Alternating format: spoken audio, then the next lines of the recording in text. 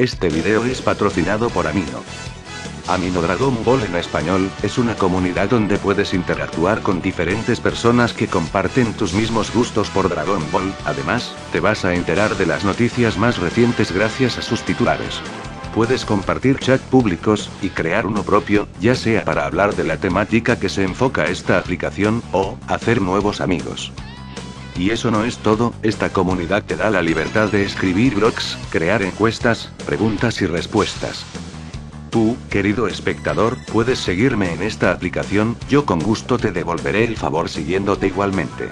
Además, crearé encuestas para futuros videos, y aceptaré opciones que ustedes me brinden. No olvides pasarte por Amino Dragon Ball, los links para descargarte la aplicación tanto en Android como iOS, estarán en la descripción, junto con mi nombre de usuario para que puedan seguirme. Hola a todos gente.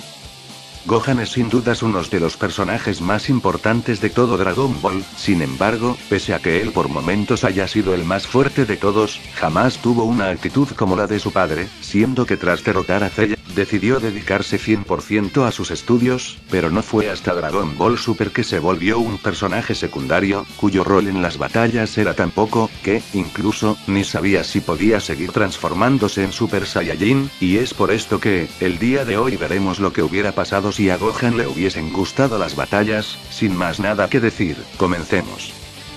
Para dar inicio a la teoría, tendríamos que situarnos en su niñez, Gohan era incitado por Milka a estudiar, sin embargo, su propósito era otro muy lejano, entrenar.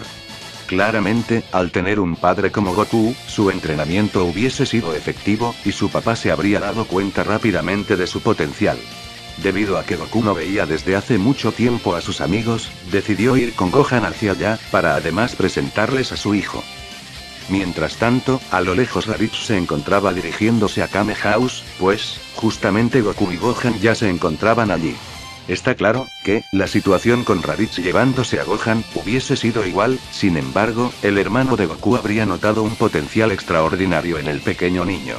Posterior a ello, Piccolo sorprendería a Goku con su aparición, y sugiriéndole luchar juntos para así acabar con el Saiyajin, dado que no quería interrupciones. Goku y Piccolo irían hacia donde se escapó Raditz, para así rescatar a Gohan. Nuevamente, el desenlace de la batalla hubiese sido igual, sin embargo, Gohan al desencadenar su furia, además de golpear con todas sus fuerzas a Raditz, comenzaría a aliviarse en batalla contra el Saiyajin. Gohan sin dudas, guiado por su ira, dejaría perplejo a su padre, y Piccolo. Claramente, pese a todo ello, el pequeño Saiyajin no podría derrotar a Raditz, por lo que Goku tuvo que sacrificarse para derrotar a Raditz, tras ser atravesado por el macanco saco del Namekiano. Luego de eso, Raditz les avisaría sobre la pronta llegada de Vegeta y Nappa, y como pasó en la línea original, Piccolo se llevaría a Gohan para entrenar. Gohan, se sentiría entusiasmado de entrenar, y con todo ese tiempo que pasó al lado de Piccolo, logró desarrollar una amistad con este. Además, el entrenamiento del Namekiano fue suficiente para que el pequeño Saiyajin tuviese un nivel de pelea mayor al de la línea original. Por otra parte, Goku se encontraría entrenando en el otro mundo, mientras que los demás guerreros Z también se encontraban entrenando para prepararse una vez que llegasen los Saiyajines. Pasarían los respectivos días desde que se anunciaron la llegada de los dos Saiyajines, y como era de esperarse, los guerreros Z fueron a confrontar a Vegeta y Nappa.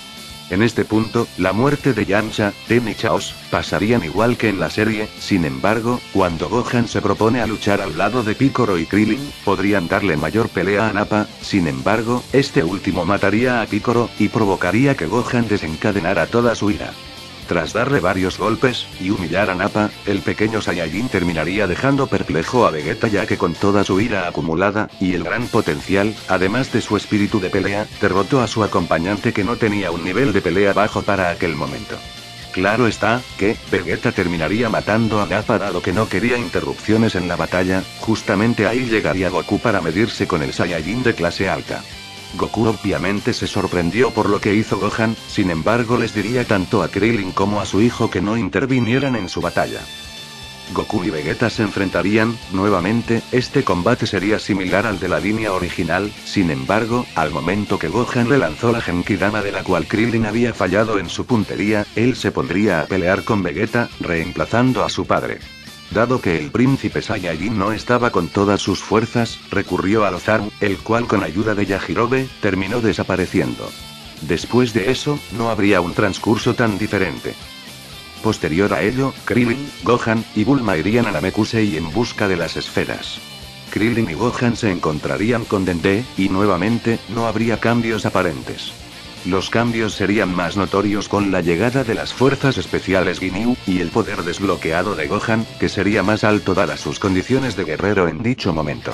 Dado a la gran fuerza del pequeño guerrero, podría derrotar a Guldo, sin embargo, estaría bastante igualado con Riku.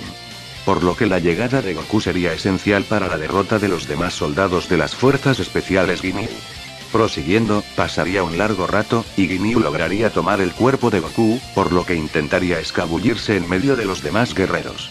Gohan, tras enterarse de eso, pese a que el capitán Ginyu estuviese en el cuerpo de su padre, decidiría luchar, llegando a ser superior a él incluso, cosa que llegó al capitán Ginyu a intentar cambiar de cuerpo, sin mucho éxito aparente, dado que Goku se pondría en medio del ataque de cambio para recuperar su verdadero cuerpo.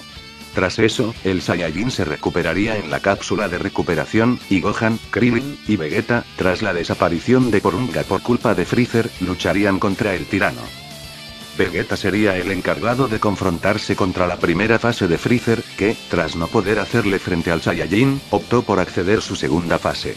Es aquí, que, tras la muerte de Krillin, Gohan con una desesperación enorme por la aparente muerte que especuló de su amigo, comenzaría a luchar contra Freezer, incluso, llegó a superarlo, haciendo que este sí o sí tuviese que acceder a su tercera forma para no tener problemas. Como era de esperarse, Gohan ya para ese momento no podía estar igualado siquiera con Freezer, y, pese a la reciente llegada de Piccolo, tampoco podrían hacer mucho, sin embargo, Gohan se propondría a luchar con todas sus fuerzas al lado de Piccolo, y con la ayuda de Vegeta, lograron derrotar al tirano en esta fase, cosa que lo llevó a mostrarle su verdadera forma. Es aquí cuando las posibilidades fueron nulas para los guerreros, sin embargo, la eminente llegada de Goku tras su recuperación le brindaría esperanzas a los guerreros. Desde acá, todo el transcurso sería igual. La muerte de Krillin, la transformación de Super Saiyajin, y la derrota de Freezer contra Goku. Posterior a todo ello, una vez en la Tierra, con todos los sucesos de Namekusei acontecidos, Gohan se propondría a entrenar duramente en compañía de Piccolo, para poder lograr alcanzar el increíble poder que había alcanzado su padre cuando se transformó en Super Saiyajin. Para todo esto, Gohan se escaparía constantemente de su casa, para entrenar con Piccolo, obteniendo una amistad aún más estrecha con él. Luego llegaría Trunks, quien detendría a Freezer, y el Rey Korn, además de avisarle a Goku y sus amigos sobre los androides, y darle la medicina a Goku para la enfermedad del corazón que padecerá en unos años. Aparentemente, pese a que Gohan en su futuro fuese más fuerte que el visto en la línea original, al tener que luchar contra dos androides al mismo tiempo, lo llevó a la derrota. Pero bueno, Goku le contaría todo lo que pasará en el futuro a los guerreros Z, y en esos años se pondría a entrenar al lado de Piccolo y Gohan. Una vez que llegaron los androides, Goku se confrontaría contra número 19. Debido a que la enfermedad del corazón que padecía Goku, comenzó a surtir efecto, este terminaría siendo derrotado por el androide. Gohan, al ver esto, y estar furioso, comenzaría a expulsar una aura dorada, y posteriormente, se transformaría en Super Saiyajin, dándole una brutal patada al androide que le terminaría arrancando la cabeza. Vegeta al ver esto decidió terminar con el androide desintegrándolo, y halagando el poder del hijo de Goku. Sin embargo, por todo lo que sucedió, los guerreros Z no lograron percatarse de que el Dr. Makihiro había logrado escapar de hasta la interrupción, y también porque podía ocultarse debido a que los guerreros Z no podían sentir su ki. Una vez que llegó a su guarida, despertaría a los androides como última opción. Pero... ¿Qué pasará? Todo esto lo veremos en una segunda parte, debido a que esta teoría se me hará bastante larga. Si esta teoría tiene bastante apoyo, intentaré subir la segunda parte más rápido. Por otro lado, aprovecho para contestar el por qué no fui tan activo, la verdad, no es un misterio, pero no he tenido mucho tiempo para hacer videos por ciertos problemas, además, con la reciente salida de Pokémon Sol y Pokémon Luna, estuve mucho más ocupado viciando con los juegos, y más que nada, porque quiero hacer un especial por estos tres años en YouTube, y todo aquel que me conozca desde el principio y mi anterior canal, sabrá cuál era la sección característica de los canales. Pero bueno gente, ahora ya sin más nada que decir, adiós.